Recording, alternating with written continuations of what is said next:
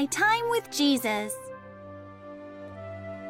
Fatima Special Lucia and her faithfulness to the message.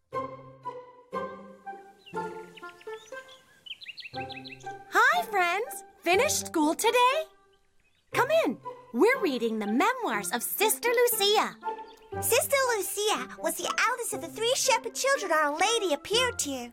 Right, Christine? That's right. Hi, kids. Hello, Father Luis. We're reading the memoirs of Sister Lucia. Oh, that's great. Father Luis, we know the story of Francisco and Jacinta, but we need to know more about Lucia, who was the oldest of the three shepherd children. Well, you see, Lucia was very faithful to the mission she received from Our Lady to spread devotion to her Immaculate Heart. She had a mission from heaven? Yes, that's right. Wow, like Chewing Gum Man, who has the mission of making the world a better place. That's not right. Why? What's the problem? Chewing Gum Man is just a comic book character, and Sister Lucia is real. Okay, okay, I understand. Lucia was very much loved since she was born. She was the youngest of six sisters and one brother. As a baby, everyone wanted to hold her. Dad, let me hold her now. No, it's my turn now. No way. You were holding her before, when she woke up. Okay, I'll let you hold her first, but only for a while, and then you must give her to me. Here, the treasure of the house. The most beautiful in the house, and the smallest. Everyone loved her. When Lucia was five or six years old, she was often in the middle of the fun. This is how she describes it in her memoirs. At dances, they would put me on a chest or other tall object so that I wouldn't be stepped on by the guests. And from there, I had to sing songs to the sound of the guitar or accordion. Lucia has a special gift, doesn't she? Yes, she's very charming and always livens up a party. My sisters taught me to dance. That's the way, Lucia. Move your legs more and twist around. Fantastic. That girl feels no embarrassment. She's so funny. On Sunday afternoons, all of the young people gathered in our yard in the shade of three large fig trees to spend the afternoon playing and talking with my sisters. At Easter, the almond raffle was held there. Moreover, Lucia was very cheerful and was very fond of children and writes this in her memoirs.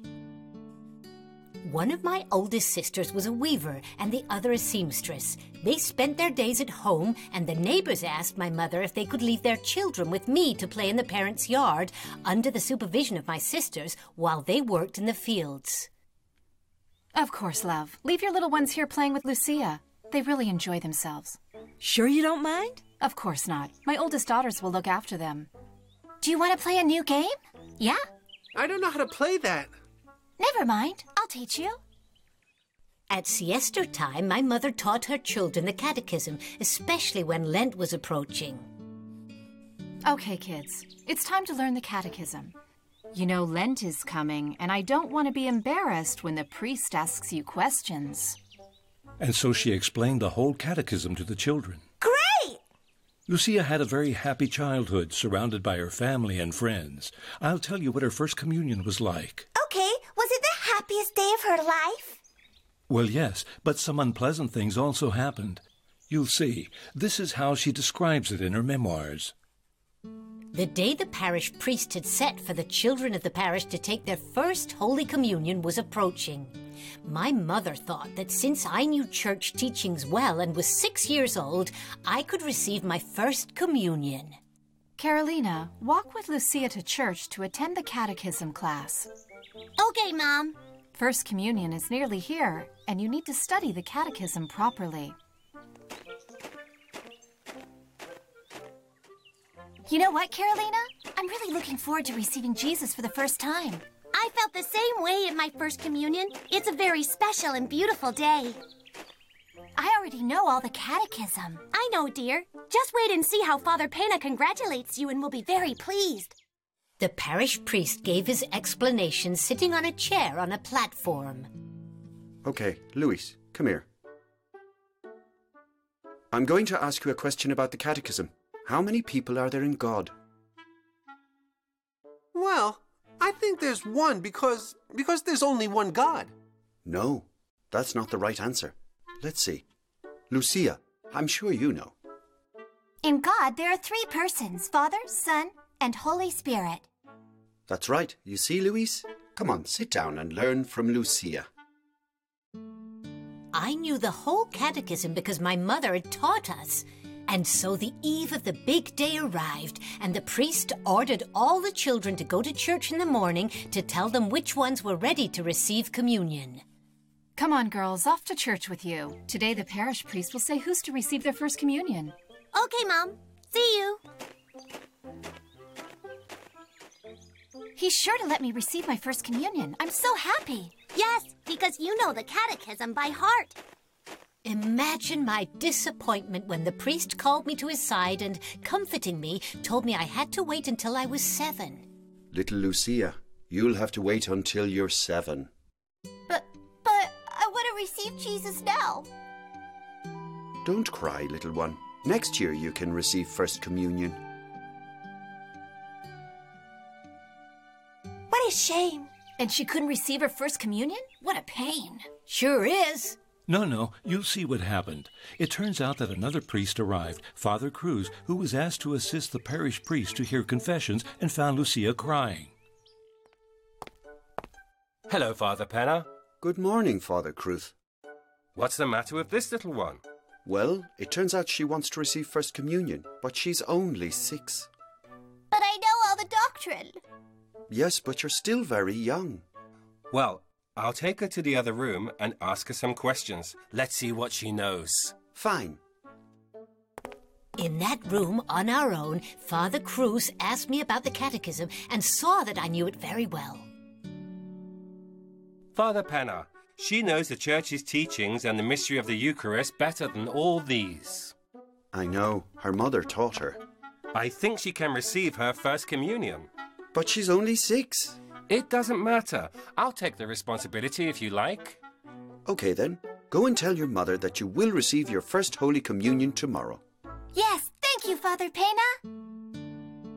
My joy had no limits. I was clapping my hands with joy, running all the way to give the good news to my mother, who immediately began to prepare to take me to confession.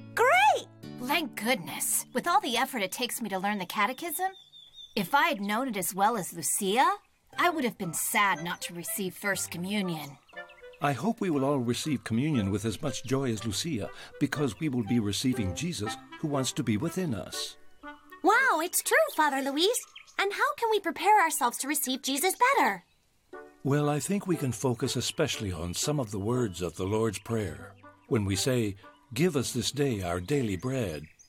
We pray before taking communion, don't we? Yes, before communion at Mass, we say the Lord's Prayer and we can focus especially on those words. Okay, that's easy enough. You see, in confession, the priest gave Lucia a lot of encouragement. My daughter, your soul is the temple of the Holy Spirit. Keep it always pure so that He can continue His divine action within it. Yes, Father, I will.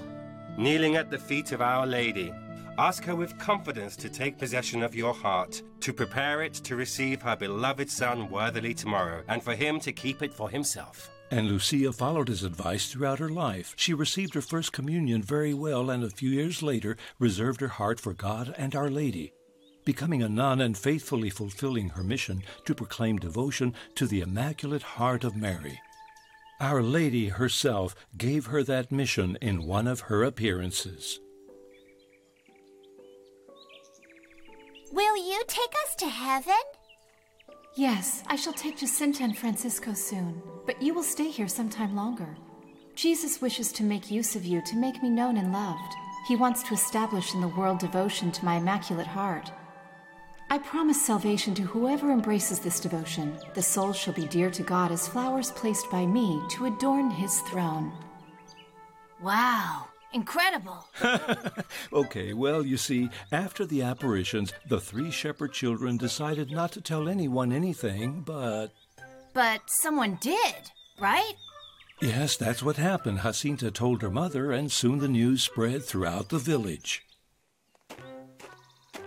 See how I knew you were going to say it? There was something inside me that wouldn't let me keep quiet. Well, Don't cry now, and from now on, don't tell anyone anything the lady told us. I already did. What did you say? I said that the lady promised to take us to heaven. And you went and said it straight away? I'm sorry. I won't say anything else to anyone. Lucia was faithful to Our Lady's request and managed to keep the secret, but she had to suffer a lot. She had to suffer for keeping the secret? Yes, you see, Sister Lucia describes it in her memoirs. Meanwhile, news of the event had spread. My mother began to get distressed and wanted me to admit that what I'd said was a lie at all costs. Before you go off with the sheep, admit that you lied. But, Mom, I can't say that because it would be a lie. I don't like people believing that Our Lady appeared to you. What a lie. But it's true.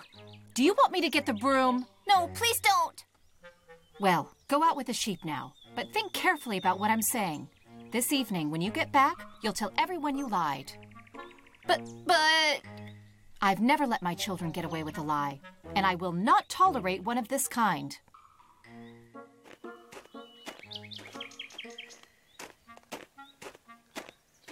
Lucia, what is it? My mother wants me to say that I lied. And how could I say it? You see, you're the one to blame. Why did you do it?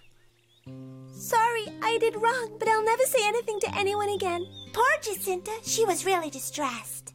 Yes, but very soon the news spread throughout the region, and the civil authorities wanted to know what Our Lady had told the children. Did they want the children to tell them the secret? Well, it wasn't really a secret. It's just that the children had decided not to talk to anyone about the apparitions, so they were brought before the civil authorities of Ourém. How scary! Yes, Lucia's father and the father of Francisco and Jacinta received a letter from the authorities telling them to take their children to court for questioning. I got this letter from my daughter Lucia to go to Ourém tomorrow to speak with the authorities. I got the letter too, but my Francisco and Jacinta will not go. I don't have to take two kids who aren't responsible for their actions to court. Besides, they wouldn't be able to walk all the way to Ourém. I'm taking Lucia. She can sort it out with them. I don't understand anything about these things. They then took the opportunity to give us a good scare. Tomorrow, when you go to Ourém, you can tell them all that this is a big lie. A big fat lie. If you don't, just wait and see what punishment you'll get. Can they put me in jail? Yes. No, not that. The next day, when we passed my uncle's house, my father waited a moment for him. I ran to Jacinta's bed to say goodbye. Goodbye, Jacinta. I don't know if we'll see each other again. They might kill me or put me in jail forever. If they kill you, tell them that Francisco and I are also like you and we want to die with you. And now I'm going to the well with Francisco to pray hard for you. Wow. And did they kill her? How could they have killed her? I don't know. Can't you see she wrote her memoirs when she was grown up? Wow, that's right. yes, well, but she had a tough time. Her cousins, Francisco and Jacinta, went to Lucia's well to pray for her, and they stayed there all day until it got dark.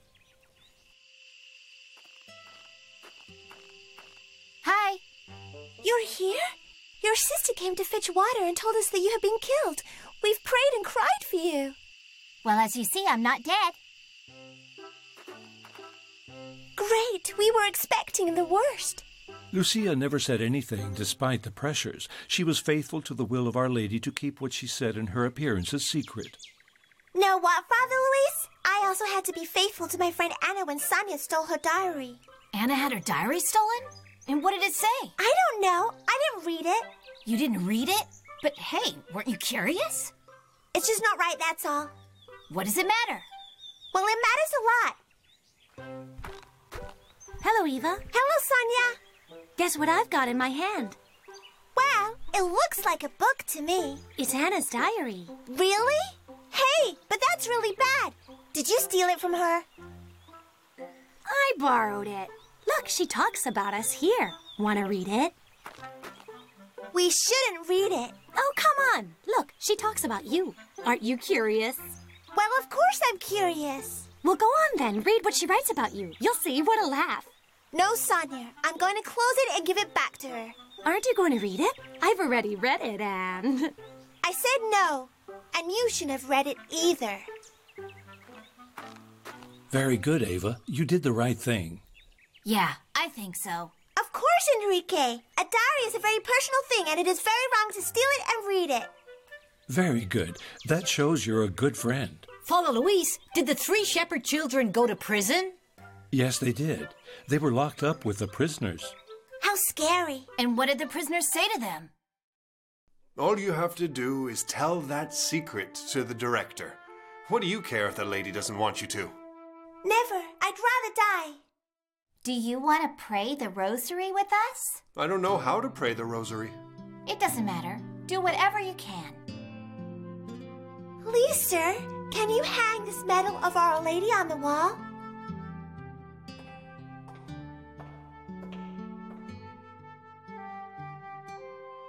Thank you, sir.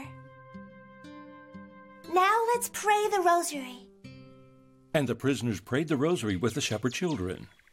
And the ones who didn't know how to pray? Yeah, what did the ones who didn't know how to pray do?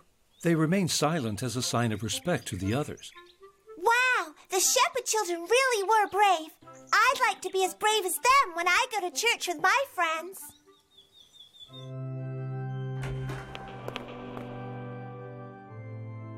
Do you want to pray the rosary? I don't know how to pray it properly. Me neither. It doesn't matter. I'll show you. Very good, Ava. That's what we learned from the shepherd children of Fatima. You see, sometime later, Lucia's family went through a bad time. What happened to them? They didn't have much money. Lucia's family was going through very hard times. This is how Sister Lucia describes it in her memoirs. My poor mother was immersed in a deep bitterness, and when she, my brother, and I were together at home at night, waiting for my father for dinner, my mother, seeing the empty places of her other daughters who had married, said with great sadness, Oh, Lord, where did all the joy of this home go?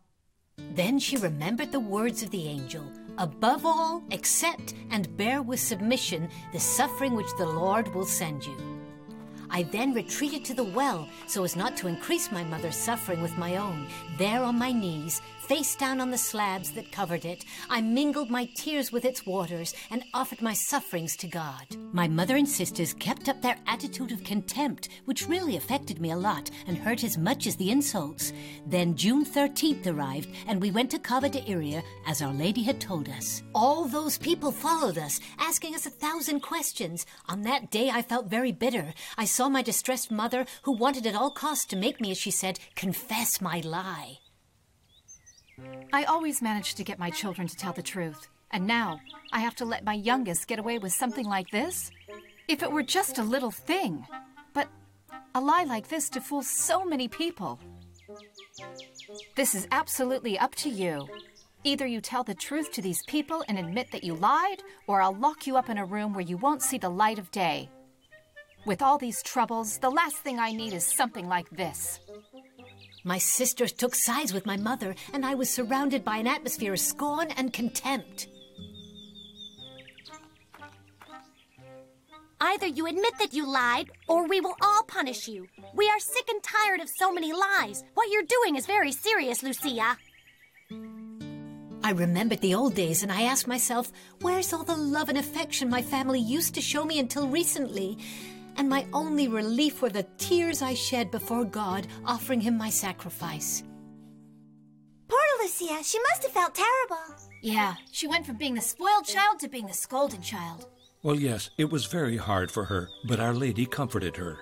On that day, then, Our Lady, as if guessing what was wrong with me, in addition to what I already recounted, said to me, And do you suffer a lot? Do not be discouraged. I will never abandon you. My immaculate heart will be your refuge and the way that will lead you to God.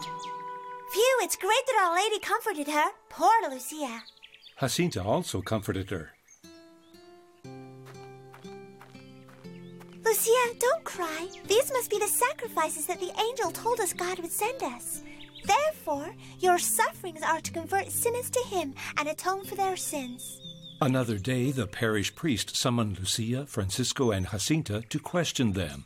Lucia's sisters tried to scare her into telling him the truth, but Lucia, Francisco, and Jacinta said nothing. So are you going to talk to the parish priest? Yes? Well, you can tell him that this is all a big lie and that you're sorry about lying to the whole village. We can't say that. Oh, no? Well, Mom and I are going to punish you, and you'll soon learn the lesson that way. We'll make you confess by hook or by crook. My poor mother became more and more distressed when she saw the large number of people approaching from all directions. These poor people are coming deceived by the children's lies, and I really don't know what to do to make them see the truth. These three little liars have managed to fool the whole village. Poor people. They believe everything three little children say. It's so distressing that all these people have been deceived into coming to Cova da Iria. What do you, Maria Rosa, think about the visions of your daughter? I don't know. I think she's no more than a liar who's deceived half the world into coming. Don't say that too loud, because someone might be capable of killing her. I think there's someone out there who doesn't hold her in great esteem. Did they really want to kill them? Some people did. Wow. They had to be very strong and brave. Well, yes, the three shepherd children managed to keep the secret of the apparitions, despite the threats. But they also managed to be strong thanks to spiritual direction. In September 1917, Lucia spoke with her first spiritual guide, Father Formigão. This is how she describes it. I really liked him because he spoke to me a lot about living the virtues, teaching me some ways to practice them. He showed me a picture of St. Agnes, told me about her martyrdom, and encouraged me to emulate her. His reverence continued going there every month to question me, after which he always gave me good advice which did me some spiritual good. One day he told me, Your duty is to love our Lord very much for all the graces and benefits he's granting you. This phrase became so deeply engraved in my soul that after that I acquired the habit of constantly saying to our Lord, My God, I love you in gratitude for the graces you have granted me. Well, you know what, Father Luis? I want to have spiritual direction, like Lucia. That's a great idea. Yes, Joseph. I already have spiritual direction with Father Luis, who is our parish priest. Okay, but how is spiritual direction done? Well, it involves talking to a priest frequently and telling him what worries us so that he can help us in our spiritual life. Well, I think I can do that. Father Luis, and what did Lucia do after the apparitions? Well, shortly after the apparitions, Francisco and Jacinta died. Right! We read it in the memoirs of Sister Lucia. Well, later, when Lucia was 14, she started attending the school of the Dorothea sisters in the town of Vilar, near Porto, and a few years later became a nun. And was she a nun all her life? Yes, that's what happened. And did she never leave the convent? Well, she sometimes left the convent, but not very often. Didn't Our Lady ever appear to her again? Well, yes, Our Lady appeared to ask her to spread devotion to her Immaculate Heart throughout the world. You'll see. One day, while praying in the chapel of the convent of Pontevedra in 1925, Our Lady appeared to her with the child Jesus. Have compassion on the heart of your most holy mother. Covered with thorns with which ungrateful men pierce it at every moment, and there is no one to make an act of reparation to remove them. Look, my daughter, at my heart, surrounded with thorns with which ungrateful men pierce me at every moment by their blasphemies and ingratitude. You at least try to console me and announce in my name that I promise to assist at the moment of death with all the graces necessary for salvation. All those who, on the first Saturday of five consecutive months, shall receive the sacrament of confession, receive Holy Communion, recite five decades of the Rosary, and keep me company for 15 minutes while meditating on the 15 mysteries of the Rosary with the intention of making reparation to my Immaculate Heart. And that was the message that Our Lady gave Sister Lucia and that she conveyed to the world. That's how the devotion of the first Saturdays of the month began. It's a very beautiful devotion that we can also do. That's right, Christine. That's a great idea. Father Luis, and how did Sister Lucia die? Well, she died in 2005 at the age of 97, and her body is buried in the Basilica at the Sanctuary of Fatima together with her cousins Francisco and Jacinta. Right, because she'd always been very close to them, hadn't she? Yes, and what can we learn from Lucia? We can learn to be faithful to God. Yes, be faithful to the mission God has given us. Wait a moment. Do we also have a mission? Of course. From God? That's right. Wow, how amazing. And what is our mission? Well, we must be holy, which means loving God and others deeply. That's what we learned from Lucia, right? That's right. We learn to be faithful to what God wants of us right, friends, we've come to the end of the program and have to say goodbye. Exactly. See you next time. Bye-bye. See you soon.